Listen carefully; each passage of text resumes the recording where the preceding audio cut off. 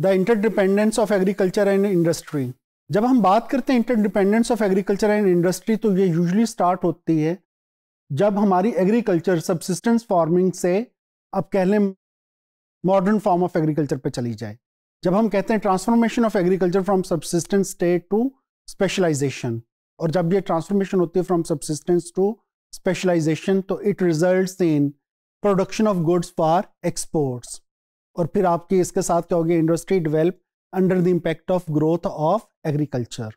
और जब आपकी इंडस्ट्री डेवलप हो रही है under the impact of growth of agriculture तो it result in interdependence between agriculture and industry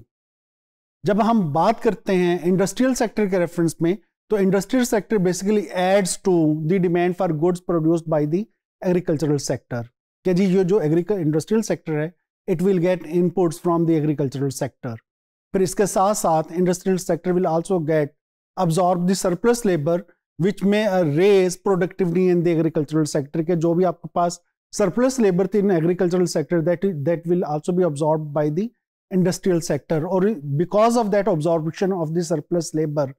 ये क्या करेगा? It will improve the productivity in the agricultural sector जब हम एग्रीकल्चर सेक्टर की बात करेंगे तो जो आपका एग्रीकल्चर सेक्टर है it provides market for the industrial goods के demand coming from agriculture can be a major stimulus to the industrialisation के जो आपका एग्रीकल्चर सेक्टर है, इसकी वजह से ये जो डिमांड क्रिएट करेगा it will be the major stimulus for industrialisation जब हम बात करते हैं impact of agriculture on industry की तो the impact of agriculture on industry is much higher than the impact of industry on agriculture और ये जो इम्पैक्ट है it will it increases with the increase in income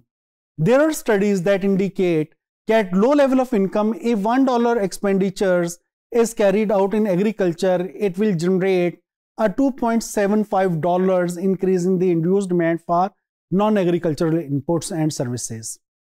और यही जो आपके पास कह लें डिमांड है it will increase by ten dollar in high income countries कि जी जो इम्पैक्ट है आपके पास लो इनकम इकोनॉमीज पे, कि the impact of expenditure on agriculture it is relatively less as compare to the impact of agricultural expenditure on on non agricultural inputs and services in high income economies अब जब हम बात करते हैं transfer of resources from agriculture to industry it may be in the form of capital labour or both जब हम labour की बात करते हैं तो लेबर क्या है? Labour is abundant low income countries and there is no problem of releasing labour for industry और ये जो लेबर रिलीज़ होगी why they will move toward the industrial sector के in industrial sector there are usually better opportunities के जो आपका wage wages हैं in the industrial sector it is much more than the agricultural wage rate और usually हम कहते हैं कि these industrial wages are twice to the agricultural wages और जो आपके रियल वेजेस हैं एग्री आपके इंडस्ट्रियल सेक्टर में हाई क्यों हो सकते हैं? That that is high may be because of the higher productivity in the industrial sector फिर जब हम कैपिटल के रेफरेंस में बात करते हैं तो capital is relatively less mobile than labour तो अब यहाँ पे अगर if there is insufficient landing from the agricultural sector on voluntary basis अब ये जो कैपिटल है, ये आएगा कहाँ से? Starting point is the agricultural sector अगर आपके पास एग्रीकल्चरल सेक्टर आप कह लें इनसफिशियंट लैंडिंग्स हैं फ्रॉम द एग्रीकल्चरल सेक्टर तो ऑन वॉलेंट्री बेसिस के जी आपके जो लैंड लॉर्ड्स हैं they are not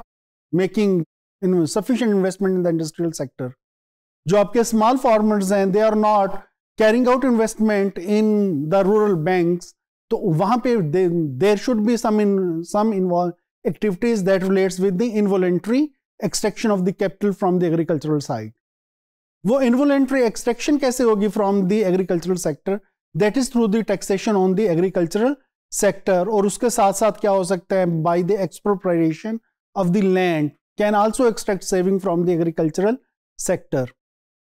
कि ये जो आपका एग्रीकल्चर और इंडस्ट्री है दे आर इंटरडिपेंडेंट और ये इंटरडिपेंडेंस कब स्टार्ट होगी? When agriculture shift from subsistence farming to